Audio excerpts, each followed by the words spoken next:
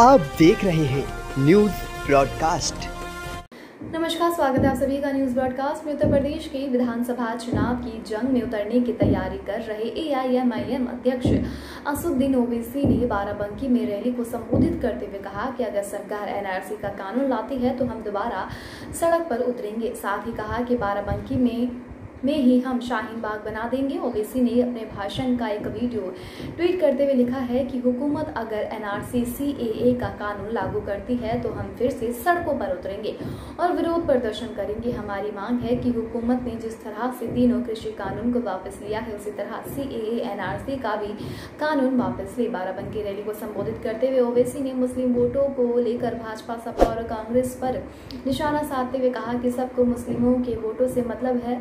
उनकी मुद्दों से नहीं, अपनी रैली का एक वीडियो ट्वीट करते हुए उन्होंने लिखा कि मुसलमानों का वोट सबको चाहिए लेकिन मुसलमानों के मुद्दे पर कोई आवाज़ नहीं उठाना चाहता है। जब हमने आवाज़ उठाई तो योगी आदित्यनाथ बाबा ने हमारे खिलाफ केस दर्ज कर दिया।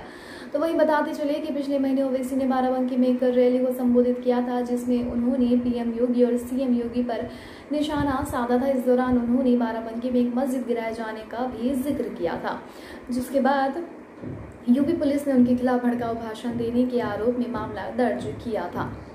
अब तक लिए बस इतना ही। देश दुनिया से जुड़े तमाम अपडेट जाने के लिए हमारे चैनल को आज सब्सक्राइब करें। इस वीडियो को लाइक एंड शेयर करना बिल्कुल भी ना भूलें।